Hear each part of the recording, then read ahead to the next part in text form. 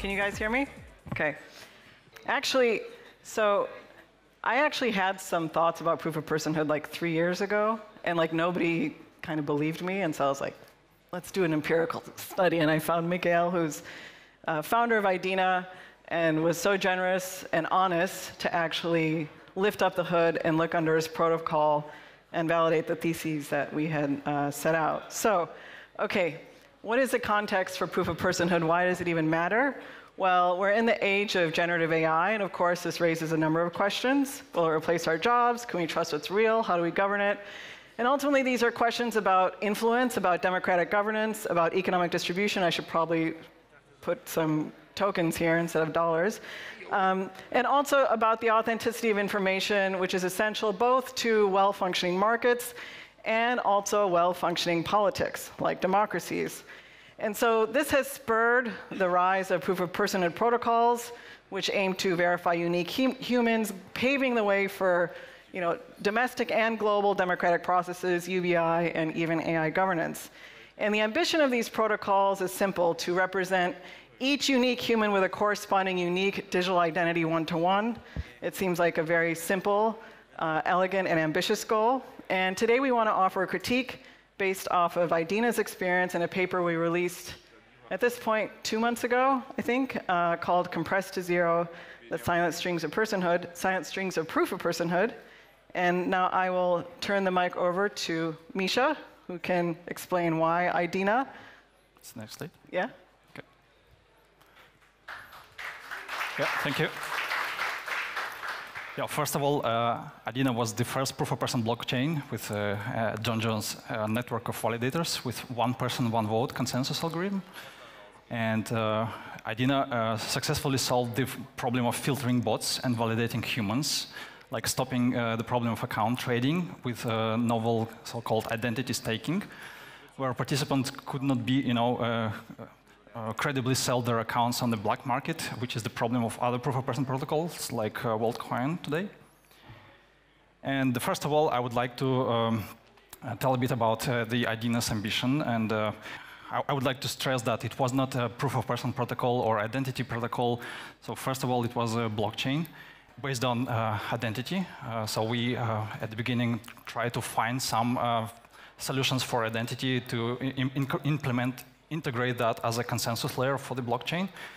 Um, so our motivation was uh, to pr provide like alternative to proof of stake system and address the challenges of centralization, um, which is kind of these are the, the, problems inherent in capital, which is uh, always heavy tail Pareto distributed, and now we can see that uh, in proof of stake networks, uh, large staking pools um, had like inevitable economy of scale, and as a result, solo miners vanishing, uh, giving way to oligopoly.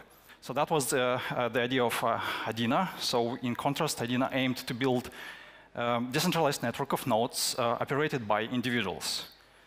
so the goal was to, to build like an excessive a network with an excess, excessive number of no, uh, validators and nodes, and simply to solve technical problem, which is kind of blockchain scalability problem.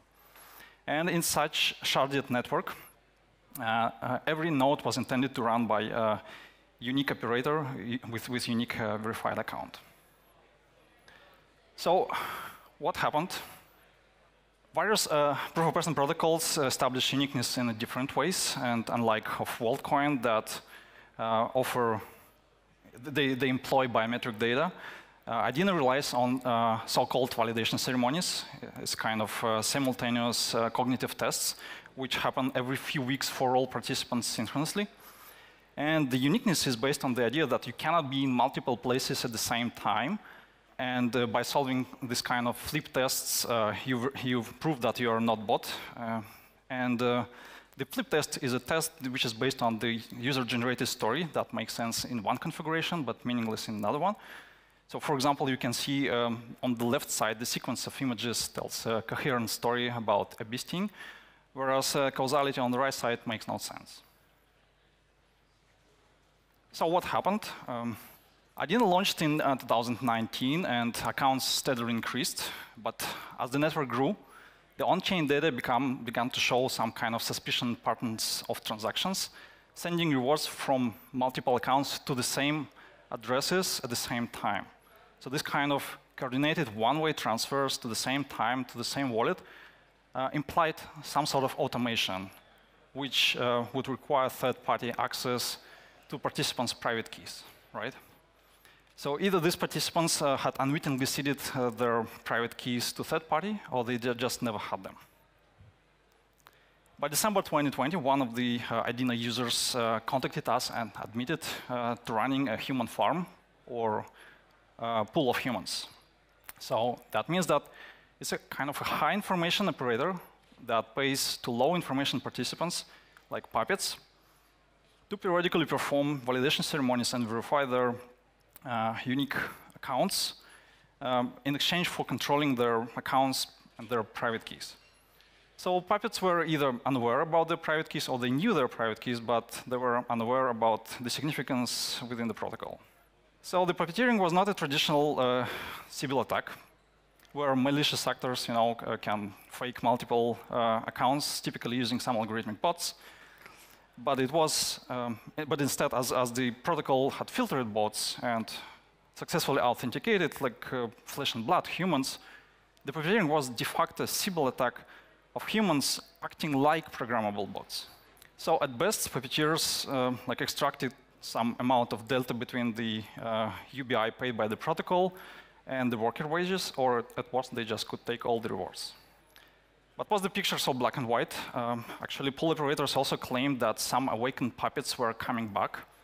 Uh, so where they were just offering uh, some, some service to consensual uh, participants and being remunerated for that. Uh, and because of this, like earning rewards on IDENA protocol presented by a number of hustles, like you need to run your own node, you need to like sell the coins on the um, to convert it into local currency, and the pool operators could uh, handle these operational hassles better than participants on their own. And in short, they were just cooperating and simply provided some services for uh, some like participants. So the reality that there is a spectrum, like two, two extreme possibilities and spectrum in between. And the same transaction pattern on chain could actually uh, indicate both puppeteering or voluntary cooperation. And like both extremes different not in not how they look like on chain, but um, how the information control is distributed off chain. So in puppeteering, Operators have more control and more, and, and more information, so they, they, know how the protocol works and they control the private keys. And so they capitalize uh, the symmetry of information control uh, to, to get the uh, control over accounts in exchange for minimum wages and like maximally extracting on their own advantage. In contrast, cooperation has greater symmetry in information and control, so participants may know how the protocol works and they, they control their private keys, but nonetheless, they can find it mutually beneficial to kind of uh, pool resources and uh, delegate control, including their private keys, to an operator for greater rewards and uh, with economy of scale, right? And holding operators accountable off-chain. So despite of aiming uh, to establish a transparent network of individuals with unique accounts, uh, protocol collapsed into hidden groups and subnetworks. So these groups, whether autocratic or democratic, were competing for the same economic pie. In March uh, 2021, uh, community, instead of just deciding to slash out this, uh, uh, these accounts, they, they agreed to fork, to make a hard fork, and bring these pools out of un unquantified shadows. Um, and we use so-called delegation. So on-chain delegation gave pools uh, economic incentives, so now pools could uh, earn mining rewards using only one node instead of running multiple nodes for every uh, their account. Uh, but what's more important with delegation, uh, now pools could um, operate like handle operational hustles even without needing to know the private keys of their uh, pooled accounts. So the pro providing uh, these economic incentives, uh, the delegation succeeded in making pools transparent. So you can see the green um, area shows the network pre-delegation. And after, uh, when, when, the accounts could not be differentiated, even if they were like, controlled by the same pool operator, um, but after delegation, the protocol could measure the size of the pools. So after delegation, um, as the network grew, uh, the growth was notably among large pools, which are red and pink, uh, while solo accounts, which are blue, outlined, constituting like a smaller and smaller proportion of the network up until the peak of the puppeteering crisis in May 2022.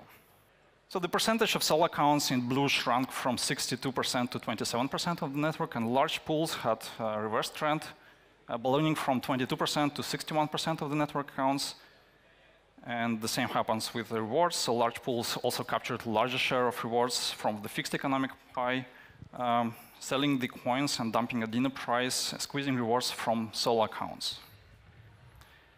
So as the number of uh, single node pools increased, nodes as a percentage of the network also like in turn significantly dropped, leading to loss of throughput and security. So the, third, uh, the, the, the, the, purpose of delegation was uh, to make coordinated pools visible, but also to make um, to enable pool operators handle operational hassles without uh, needing to know the private keys of the, their accounts.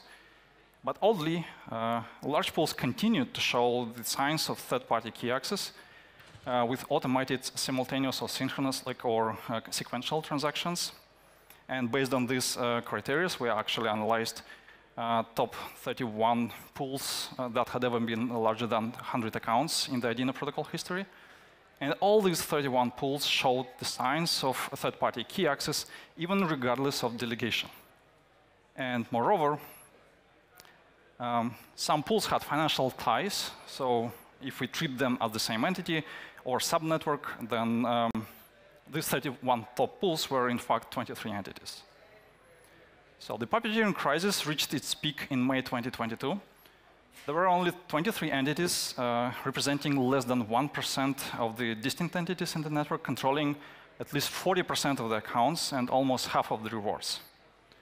This prompted us uh, to change the model from proof of personhood to so-called uh, sublinear identity staking, which is a kind of combination of proof of stake and proof of personhood, and this will be the topic of our next uh, paper titled between, uh, like, between Zero and One. Thank you.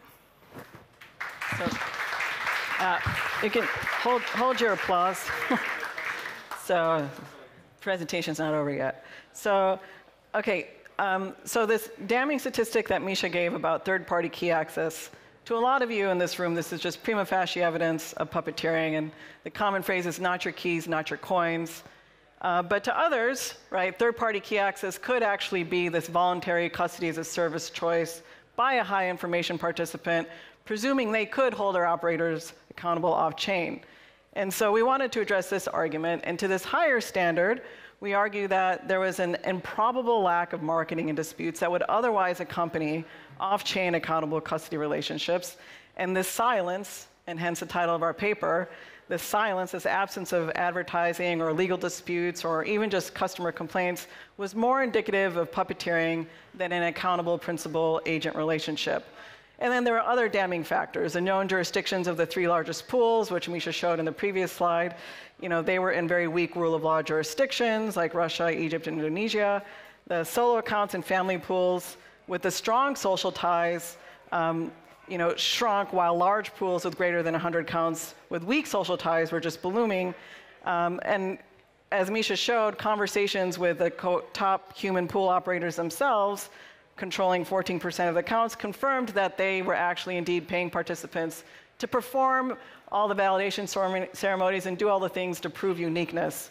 Um, and of course, the top three networks controlled almost a third of the network accounts, and they had meteoric rises and falls consistent with puppeteering and, and uh, pumping and dumping. So based on the totality of these facts, we concluded that this intended model of one person, one vote, one reward, this very egalitarian model had actually collapsed into puppeteered subnetworks. And yet, this analysis was still very cursory. It excluded 84 pools between uh, 15 and 100 counts, and 411 family pools, less than 15 accounts.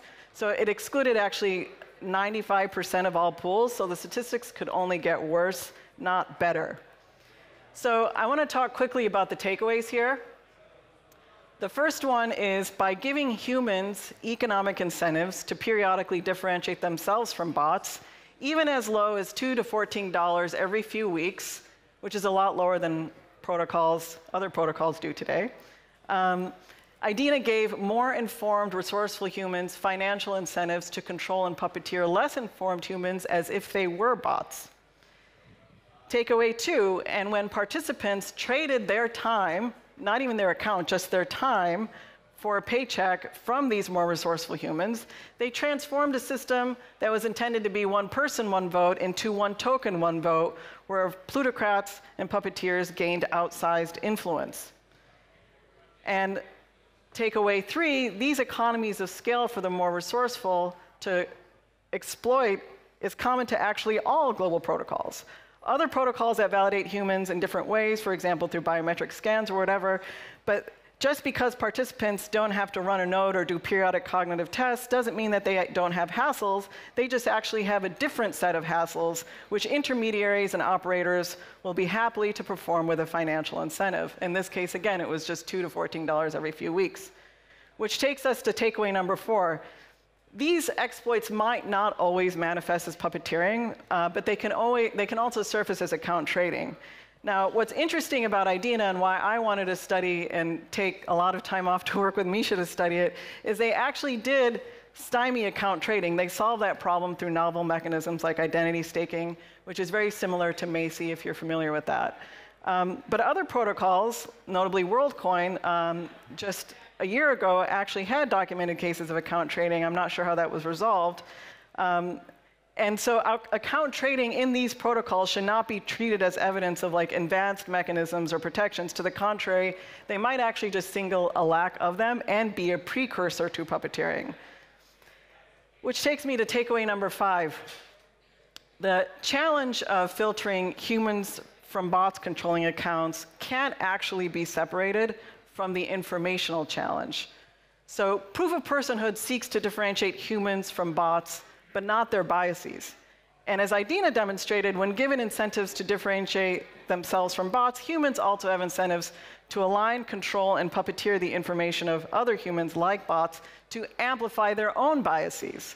And it's biases, really, or the problem of faction, if you're familiar with, with James Madison and the Federalist Papers, it's this problem of faction that we really care about when we're building systems of democratic governance. So this information challenge, in my opinion, will actually become more acute as humans integrate biologically with neural interfaces and BCIs. And this distinction between filtering humans from bots and humans acting like programmable bots will actually blur more, if not collapse, revealing this much more foundational challenge than establishing biological uniqueness, which is establishing the informational uniqueness of participants or the extent to which they cluster with the same interests and biases. And again, this is an informational problem, not a technical problem, and in fact, a social one. So we introduced this term called de facto Sybils, um, which are puppets or humans acting like bots. And these de facto Sybils are natural objects of colluders or puppeteers. And by extension, this problem of de facto Sybil resistance is actually a mutually implicated and mirror challenge or mere articulation to the challenge of collusion resistance, and neither can be solved independently, but both, both must be tackled simultaneously. Finally, the last takeaway, um, and this is to the more sort of uh, technically minded, um, the last takeaway is actually that thwarting on-chain vote buying, for example, with receipt freements or advancements like proofs of complete knowledge, these advancements don't actually solve for off-chain vote buying into meat space, and it in fact may encourage it as a low-cost alternative. So IDENA, again, undermined account trading with identity staking, and the next best and cheapest alternative actually was to go into meat space, and vote buying became off-chain puppeteering or buying participants' time. Similarly, um, when on-chain vote buying and, in TEEs or trusted execution environments becomes costly, we can expect the resourceful to simply move off-chain into meat space. So I think the final takeaway is the IDENA experiment underscores the importance of thinking in terms of incentives, systems, and most importantly, acknowledging the ties and the social ties that arise from talking and trading and, and information asymmetries. In our future work, as Idena mentioned, we will, uh, as Misha mentioned, we will examine the relationship between incenting unique accounts and stake in a paper about sublinear identity staking called Between Zero and One. And then following that, I'll expand more on what I think is a more promising solution beyond Zero One about social identity. Thank you. We can take some questions. Jessica?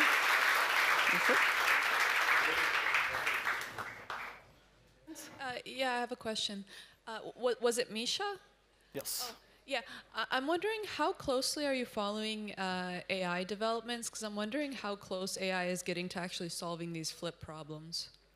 Yeah, it's a good question. Actually, we uh, we rel- rely on the uh, you know human factor that humans actually are creating these flip tests, but we also have kind of friendly AI that helps uh, participants to create AI resistance flip tests, and we constantly like you know uh, improve that AI that kind of probably like not that sophisticated as ChatGPT or other AIs, but they can kind of you know uh, have like unbiased set of uh, flip tests that allowed for validations. But most, what's most important, I think that um, in terms of the costs, it's much more you know, efficient just to hire like people to, to, to validate their accounts instead of just employing the uh, you know, AI or like other algorithmic bots. Hi. Uh, what is your take on 1P, 1V in major DAOs today? Do you think it's undesirable for token holders, or are you seeing any? One person, one vote? Yeah. I think, so, you know, it depends what your purpose is. So a lot of people say, okay, we want democratic decision making, we're gonna do one person, one vote. Okay, but that was like, you know, we stopped that experiment when Socrates died by a hemlock milkshake, right? It's like tyrannical majorities. Um, and it's a, it's, a, it's a mechanism that is nested within other mechanisms. And so, you know, in like, you know, modern analog democratic nation states, it's complemented by, for example, separation of powers, federalism, bicameralism, presentment, checks and balances, and so on. And it's just a, a signal. But if you rely on it exclusively, then of course it gets captured. And as Idena showed, there's actually an incentive to just buy accounts, right?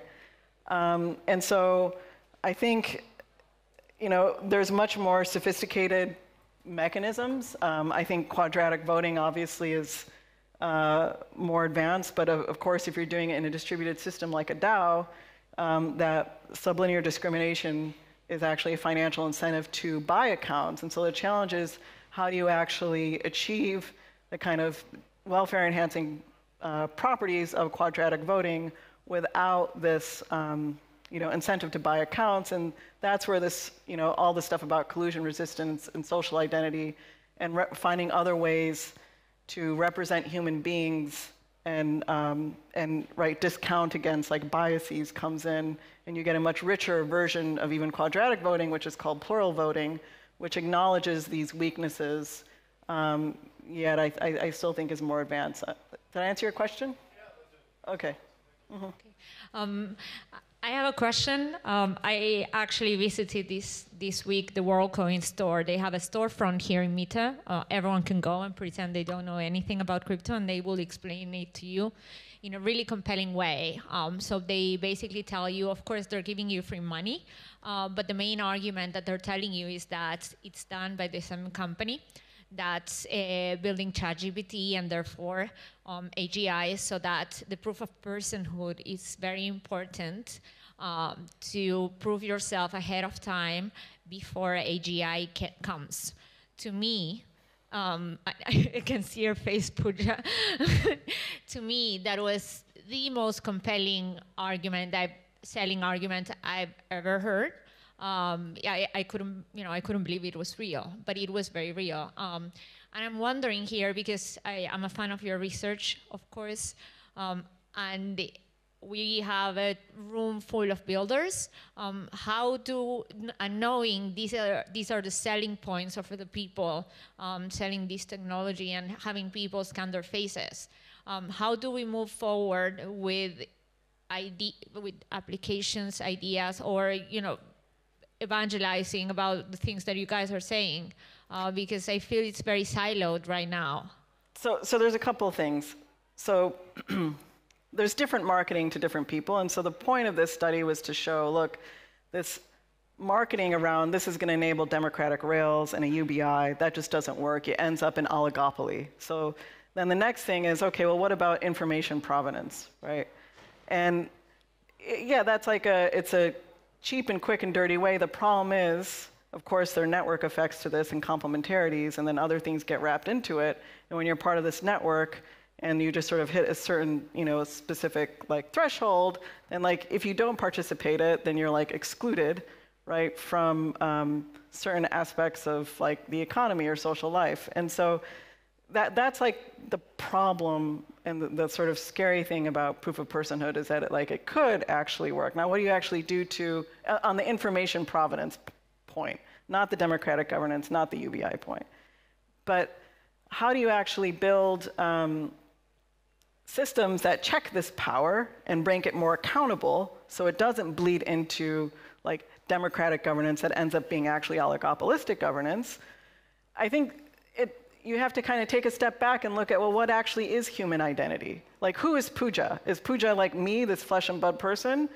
Well, like actually no like you can think about me as the sum of all my affiliations and conversations with different groups and solidarities and my opinions and beliefs and that's actually a function and an output of a social process that is like networked and, and rich and complex and so like just as you can represent you know groups as composed of individuals you can represent individuals as composed of groups and a lot of people in crypto are super into like the sovereign individual narrative. Well, guess what? The sovereign individual doesn't decentralize power. The sovereign individual always loses against the nation state. It always loses banks against big tech. The way to actually decentralize power is you form coalitions and you form groups. So if you want to actually express identity and push power down at the same time, we need to find richer ways to express real groups that actually are solving problems. And groups like as you know from families to communities at, at, any social scale and enable them to coordinate. And that's actually how you make these larger systems more accountable um, even if they might be solving this information provenance problem. Yes. Thank you so much. yeah It's on the-